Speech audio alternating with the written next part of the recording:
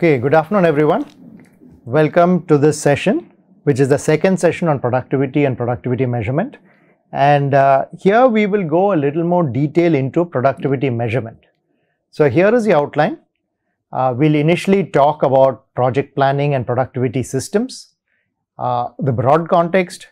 Uh, we'll get a little detail into the productivity measurement system and the components. Then we will look at what are the inputs and the monitoring options.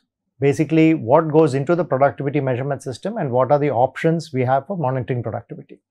We will go to performance factors and forecasting. And finally, we will look at factors that influence productivity and what can we do to address productivity improvement at, from a productivity, strictly from a productivity and project performance perspective. And then we will broadly discuss how it fits in the lean context.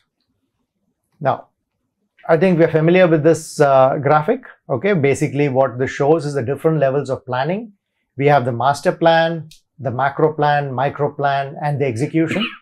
And uh, we are familiar with the different documents that are related to each of these uh, stages. For example, when the, you know, we have uh, the major milestone stage, typically reflect, uh, you know, shown as a Gantt chart or a bar chart. We have the CPM stage, you know, which we associate with the macro plan and you know we look at you know from a timeline we look at quarterly planning in the in the master plan or broader monthly at the macro plan level weekly at the micro plan level and going to a daily plan at the execution level. So this is when we look at the planning stages.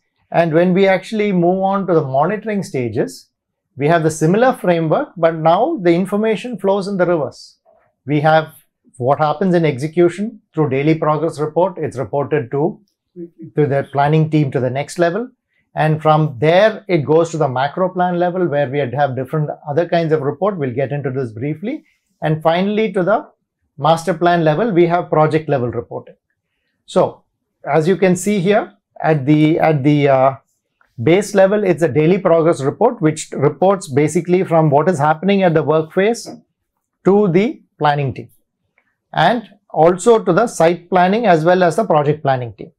From here, we generate all, all periodic reports. So once this is raw data and translating this into this reporting format becomes important because this is the base level monitoring that takes place. And now through these reports, we are able to get more uh, micro level control on the project, which is important. Now, from here, we go from using the data from these reports, you go back into the CPM and generate the more the macro and the project level reports which are required for project control. The focus of what we are doing today and in our context is more in this phase. What is happening at the micro level? How are we monitoring productivity on a weekly basis or on a daily basis or on a monthly basis? And how are we monitoring production on these same time frames? And this obviously only if we have that level of control, we can ultimately control the project. So if we look at the productivity measurement system, uh, the whole lecture today focuses basically on this framework. Okay, what we have is uh, different elements of what is a conventional productivity measurement system. And uh, what we're going to do is take each of these elements in detail and discuss it and show the kind of calculations, the kind of reports that can be generated. Now, there is a lot of numerical uh, calculations and numerical dealings in this session. Uh, it might, we might, you might have to actually review this session offline as well as uh, go through the supplementary material to understand the calculation details. So in this lecture session, we will go through the conceptual details and illustrate the concept through what calculations take place. But definitely some offline work is required to get into the detail of the computations and to be able to understand it from a very fundamental perspective.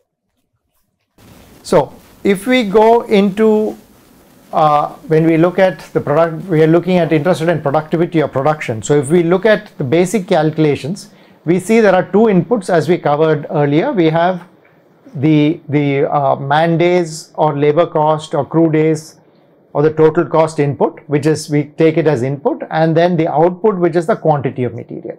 And we have covered earlier how both of these kind of are, are, are the components of productivity as well as production. Now, as we go to looking at the input side of things, if we look at how do we get input, we have many alternatives as we had discussed in the last class. We have crew days, crew hours, man days, man hour, or we have labor cost or total cost. And which one to use actually depends on the activity, you know, and the kind of monitoring and control which you have planned for your project. The reason we have discussed this in the last lecture to some extent, but I'm just re-emphasizing again here. A lot of times when you're looking at monitoring requirements, it's adequate to use the crew day, crew hours, man day or man hours, depending on the type of activity and your monitoring requirement. This does not give you your accurate, uh, what do you say, control of costs and time to the, for, from a documentation and a reporting standpoint, but it gives you enough information from a monitoring and control standpoint. So later on when you're doing your project documentation and billing requirements, you will definitely want to go to the total cost side of it. But for a monitoring and a daily, uh, weekly perspective, the man days or the uh, crew hours is, is, is the best metric and this has globally been found. And it is also a very good metric because this is typically what we call the variable component of a project. This is the highly variable component. So if we understand the variability that is happening here and are able to somewhere control it, we have a better chance of getting a, a more, uh, what do you say, stricter control on the project. So, as it's written here, whether we want to do crew days or man hours, it just depends on the type of project, on the type of activity and the type of work that's going on and the diversity of crew in a particular activity. And when we use costs, we definitely have more work to do, more computations to do, but in the in terms of recording and documentation, this is what is required from an accounting perspective. Now, as we go in further into data collection, uh, the inputs, there are several formats that are used on sites. Okay, whether you can see in the format here, you know, it talks about the different trades, the number of workers that are there, the total number of hours, you know, the, the, area, the area in which people worked. So, this is a way in which you can get man hours or crew hours or who, how much time was spent, what the input was there in a more uh, you know different format. This is you can see it's a tablet or a, a, a, smartphone format. You can see there is again the type of trade that's used the work performed the number of people the number of hours spent. So again these are all forms in which you can get inputs and the worker hours that have been spent on different activities. These can be today you can have forms like this might be in the future these can be in a more automated form or you know uh, the people recognize who's in which area and doing what work but all these ultimately get you to collecting the input required for the activity or the project. Next, we go on to the output, which is the quantities. Again, this should seem to be simple to be able to calculate quantities of a work, but there are its own complexities. So, if you look at different, there are different methods to calculate outputs, whether it's volume, area, weight, units complete, level of effort which we will cover in a little bit of detail and there are other units which you might want to use but again it depends on the type of activity.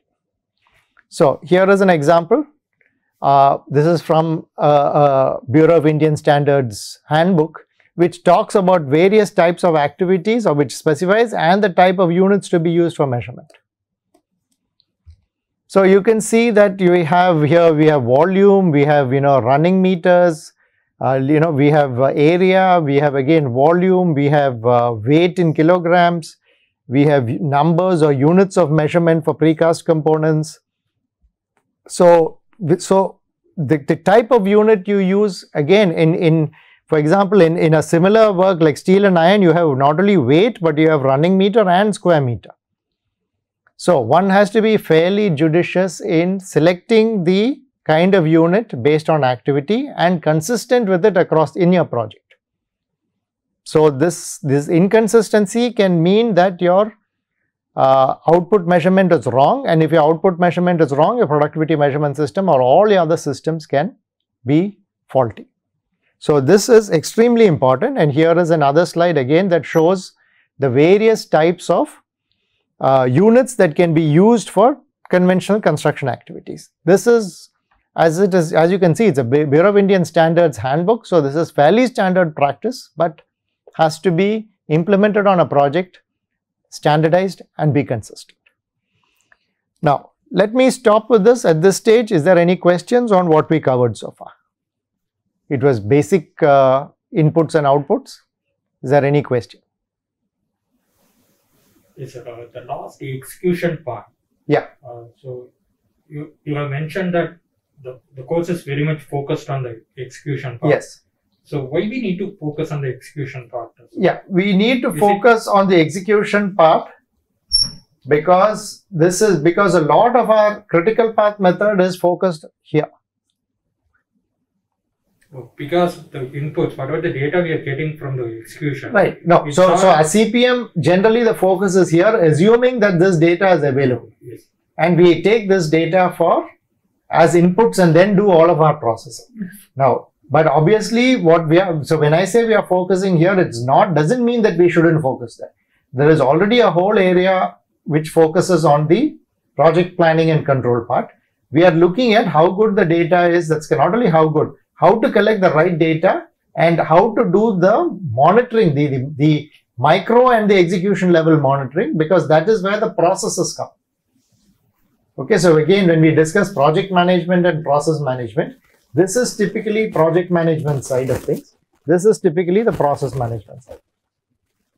Okay, so if I say this is project and this is more like process.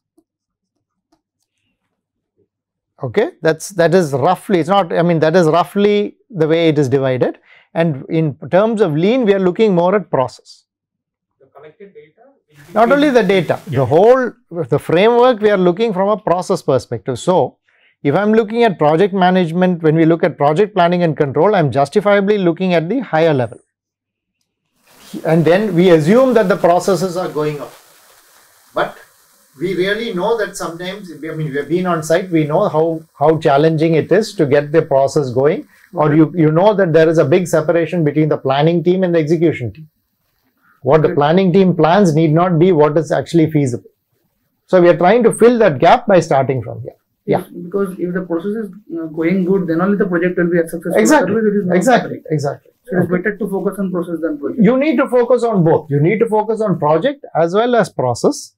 And there is already uh, a lot of focus on project level tools. We are bringing in the focus through this course on the process level tools. That would be uh, another way to put it. We are going bottom up now. We are going bottom up, correct? The top down is already there. It doesn't mean you can ignore project levels. Okay, there is project or it doesn't mean process is more important than project. Both are important. But today, a lot of uh, spotlight is on project. We are also showing the spotlight on process saying that, look, unless this is also in place, your project management will not yield the results you want. Okay, good, good question. Anything?